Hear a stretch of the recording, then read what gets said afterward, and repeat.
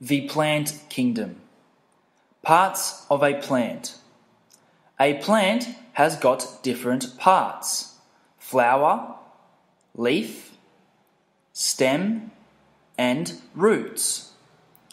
The roots absorb water and nutrients from the soil. Water and minerals pass through the stem. The stem holds the plant up.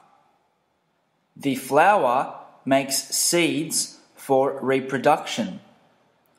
Food is made in the leaves. Parts of a flower. The flower has got two main parts the corolla and the calyx. The corolla has got different petals. The calyx has got different sepals. The corolla is made up of colored petals to attract insects. In the corolla, we can see the pistil and the stamens. The stamens are the male reproductive organs. They produce pollen. The pistil is the female reproductive organ. It has ovules inside. The calyx is made up of green sepals and protects the flower.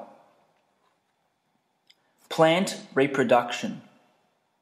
Plants reproduce in two ways sexual and asexual reproduction. Sexual reproduction.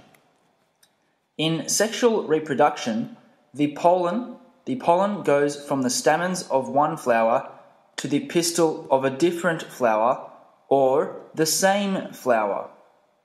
After that, the pollen joins the ovule to make a seed.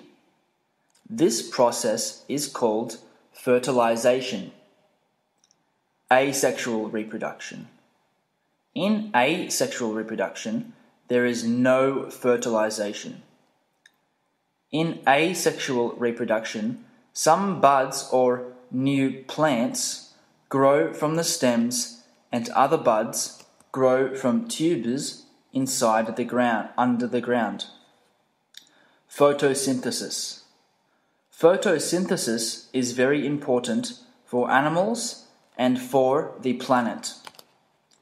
In photosynthesis, plants absorb nutrients and water from the soil and carbon, di- carbon dioxide from the air during the day.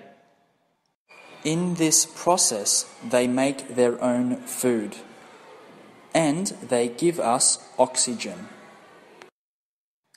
Plants and animals live together. Population. A population consists of living things of one species that live in the same place. Community. Different populations that live in one place are a community. The place where they live is called a habitat. Ecosystem. The interaction of the habitat and its community forms the ecosystem.